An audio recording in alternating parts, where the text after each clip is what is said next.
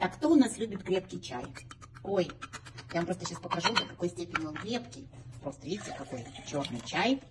И, соответственно, получается все вокруг вот в таком состоянии. Это достаточно несколько раз, и оно, в принципе, становится вот таким вот некрасивым. Но я специально собирала. Мне помыть одной левой. Но мне же надо, чтобы вы поняли, что сюда никакой химии же нельзя. Это же чайник. Ну какая радость будет от чая, если оно, извините, вымыто с моющим средством? Ну вот скажи, Оксана. Никакой. Никакой. Одно сплошное химическое самый опасный момент. Раз. И все, здесь тоже можно собрать. Чайник внутри тоже можно мыть, но желательно это делаем чистиком для посуды. А теперь смотрите, все. И вот Носик это нужен чистик для посуды. У меня здесь на сегодняшний момент чистика для посуды нет. Тогда чистиком для посуды я могу залезть в этот носик. И во все дырочки. Все, вот он, пожалуйста. Вот какая. Ну, это э, так от природы. Это не, не, не, не чай.